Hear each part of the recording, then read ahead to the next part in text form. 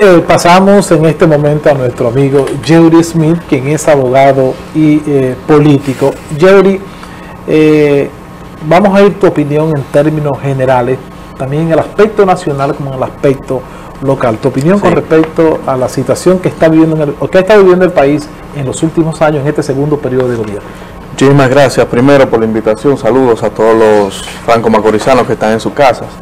Lo primero que debo decir es que con respecto al al discurso del gobernador, no hay nada que, analizar porque fue un discurso con contenido meramente histórico, nada de contenido político ni nada, o sea, la sustanciación del mismo. educativo, ¿verdad?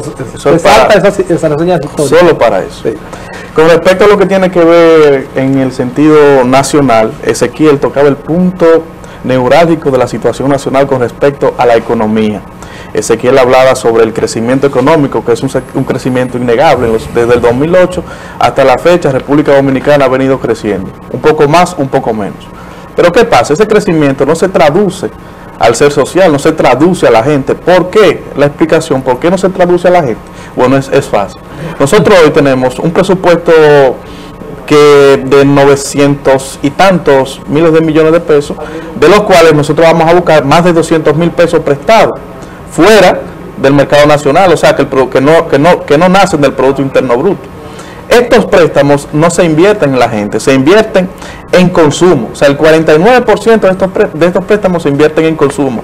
Nada se invierte en la industria ni se invierte en agricultura, que son las, las, los rangos de la sociedad económico que pueden sacar o pueden llevar a una persona de pobre a clase media baja o a clase media. Es lo primero.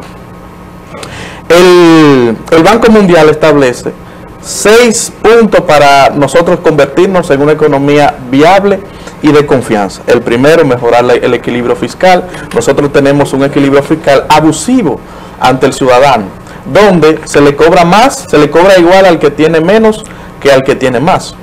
Aumentar su capital humano, es decir, el nivel, el nivel de desempleo en República Dominicana en lo que tiene que ver en sentido general con respecto a jóvenes o el dominicano en sí, eh, formal, solo formal, nosotros tenemos un 40% de empleo. Es decir, que un 60% de la población que está en, eh, em, eh, empleada es informal. Eso significa que no tiene o que no entra a la seguridad social, o sea, no está dentro de la formalidad del Estado. Por eso es que el Banco Mundial establece sobre aumentar su capital humano, promover un mejor ambiente de negocios, que como también lo establecía, lo establecía Ezequiel, cómo nosotros, el Estado, puede promover un mejor, un mejor ambiente de negocios, mejorando las bases o las instituciones a fin de tener más confianza. Nosotros tenemos ahora mismo el Estado más corrupto de Latinoamérica. Nosotros, por encima de nosotros, solo está Venezuela. De acuerdo a al índice de, al índice de percepción de la corrupción, entre 183 países, nosotros quedamos en el lugar 129. Es decir, por encima de nosotros en corrupción, en percepción de la corrupción, solo estaba Venezuela. Después estamos nosotros. Es decir, que nosotros como país debemos generar más confianza para los negocios y una forma de nosotros generar más confianza para los negocios es enfrentar la corrupción. Cuando, cuando se establecía y se le daba la palabra a cada uno de los panelistas, cada uno habló sobre las luces y las sombras. Nosotros establecemos que los, que los gobiernos actuales, todos, sin excepción aún, aún han tenido más sombra que luz.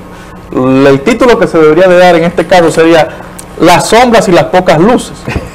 Sin, duda alguna. ¿Por qué? Porque estos han sido unos, unos, unas, unos gobiernos que han manejado el Estado en función de enriquecerse y en detrimento de la sociedad y el pueblo.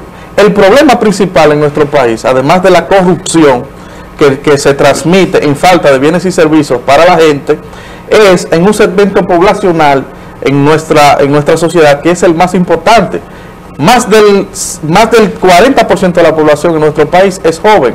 Y esa población en nuestro país es la que menos se invierte. Es decir, que no podemos hablar de luces en los, en los gobiernos que ha encabezado el Partido de la Liberación Dominicana. Eh, debemos hablar de muchísimas sombras y podemos mencionar algunos datos. Eh, al, claro, desde las tantas que tiene. podemos mencionar que el 19.7%, es decir, más de 350 mil jóvenes en República Dominicana entre 15 y 24 años no estudian ni trabajan, es decir, no tienen la oportunidad de acceder a un buen empleo. Exacto, son los famosos ninis.